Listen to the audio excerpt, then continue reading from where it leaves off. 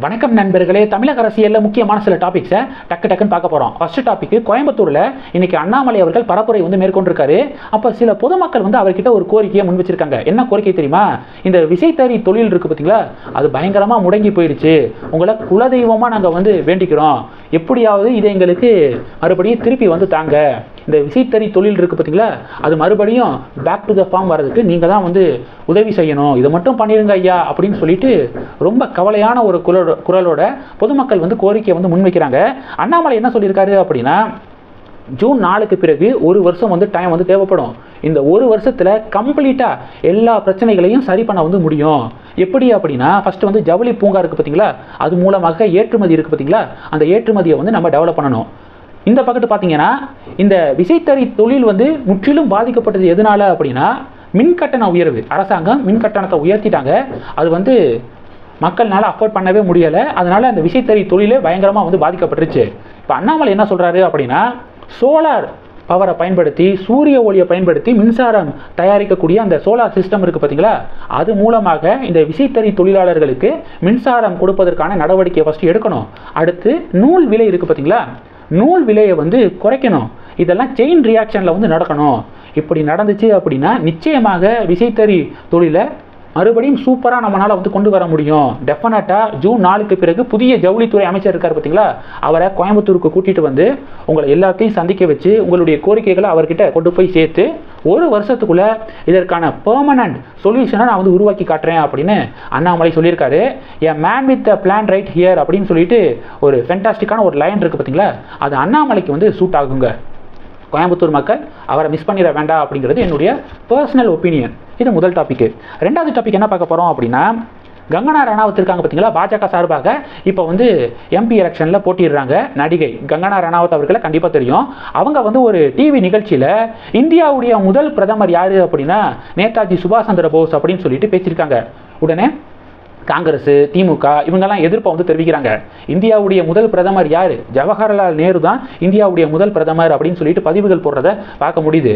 இப்போ பாஜகவினர் என்ன சொல்கிறாங்க அப்படின்னா இதுக்கு முன்னாடியே கங்கனா ரணாவத் அவர்கள் நேதாஜி தான் இந்தியாவுடைய முதல் பிரதமர் அப்படின்னு சொல்கிறதுக்கு முன்னாடியே ராஜ்நாத் சிங் இருக்கார் பார்த்தீங்களா அன்டிவைடட் இந்தியாவுடைய முதல் பிரதமர் நேதாஜி சுபாஷ் சந்திரபோஸ் அப்படின்னு ராஜ்நாத் சிங் அவர்கள் இதுக்கு முன்னாடியே வந்து சொல்லியிருக்காரு. நம்ம இது குறித்து தேடி பார்க்கும்போது ஆயிரத்தி தொள்ளாயிரத்தி அந்த டேட்டோட சொல்லணும் அப்படின்னா ஆயிரத்தி இருங்க ஒரு நிமிஷம் ஆயிரத்தி தொள்ளாயிரத்தி நாற்பத்தி மூணு அக்டோபர் இருபத்தி ஒன்றாம் தேதி அன்னைக்கு ஆசாத் ஹிந்து சர்க்கார் அப்படின்னு சொல்லிட்டு இந்தியா வந்து சுதந்திரம் வந்து அடையுது. அதனுடைய பிரதமரை வந்து பிரதமராக நான் வந்து பதவி ஏற்கிறேன் அப்படின்னு ஆயிரத்தி தொள்ளாயிரத்தி நாற்பத்தி மூணுலேயே நேதாஜி சுபாஷ் சந்திர போஸ் அவர்கள் அறிவிப்பை வந்து வெளியிடுறாரு. எங்க தெரியுமா? சிங்கப்பூர்ல வந்து அந்த அறிவிப்பை வெளியிடுறாரு.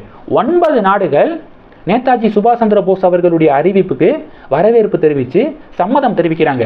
ஒன்பது நாடுகள் வந்து சம்மதம் தெரிவிக்கிறாங்க. இத்தாலி ஜெர்மனி சைனா உட்பட ஒன்பது நாடுகள் வந்து அக்செப்ட் பண்ணுறாங்க இந்தியாவுடைய பிரதமர் வந்து நேதாஜி அப்படின்னு அக்செப்ட் பண்ணிக்கிறாங்க. ஓகே ஸோ இதை தான் வந்து கங்கனா ரணாவத் அவர்கள் குறிப்பிட்டிருக்காங்க. ராஜ்நாத் சிங் அவர்களும் இதை தான் சொல்லியிருக்காங்க. அன்டிவைடட் இந்தியாவுடைய முதல் பிரதமர் வந்து நேதாஜி சுபாஷ் சந்திர போஸ் அவர்கள் தான் பிறகு காங்கிரஸ் கட்சியினர்னால திட்டமிட்டே நேதாஜி அவர்கள் பற்றிய பதிவுகள் அவரை பற்றிய வரலாற்று உண்மைகள்லாம் மறைக்கப்பட்டுச்சு. பாட புத்தகங்கள் எல்லாம் மறைக்கப்பட்டுச்சு அப்படின்னு சொல்லிட்டு பாஜக ஒரு குற்றச்சாட்டை வந்து முன்வைக்கிறாங்க புகாரை வந்து முன்வைக்கிறாங்க. இப்போ இந்த டாப்பிக்கில் காங்கிரஸ் மற்றும் பாஜக இடையே டிபேட் வந்து நடக்குது. இது செகண்ட் டாபிக் மூணாவது டாபிக் என்ன பார்க்க போகிறோம் அப்படின்னா பிரச்சாரத்தின் போது ஏவா வேலு இருக்கார் பார்த்தீங்களா அவர் என்ன சொல்லியிருக்காரு அப்படின்னா அதிமுக கிட்ட நான் வந்து கேட்டுக்கிறேன். என்னன்னா நீங்க தான் ரெண்டாவது வரணும். பாஜகவை ரெண்டாவது வர விட்டுறாதீங்க. நீங்க தான் ரெண்டாவது பிளேஸ்ல இருக்கணும் அப்படின்னு சொல்லிட்டு நான் வந்து விருப்பப்படுறேன் அப்படின்னு ஏவா வேலு அவர்கள் பேசியிருக்காரு. இப்போ இந்த வீடியோவை ஷேர் பண்ணி பாஜக வந்து பார்த்தீங்களா அண்ணாமலை இதை தான் சொன்னார். இந்த அஞ்சு வருஷம் நாங்கள் அடுத்த அஞ்சு வருஷம் நீங்கள் புதுசாக மூணாவதாக யாரும் வரக்கூடாது. மூணாவதாக வந்தாங்க அப்படின்னா பிறகு நம்ம வந்து வண்டி ஓட்ட முடியாது அப்படின்னு திராவிட கட்சிகள் இந்த முடிவில் இருக்காங்க. அதனால தான் இவங்கள பங்காளி கட்சிகள்னு சொல்கிறோம் அப்படின்னு சொல்லிட்டு பாஜக பதிவுகள் போடுறத நம்ம வந்து பார்க்க முடியுது.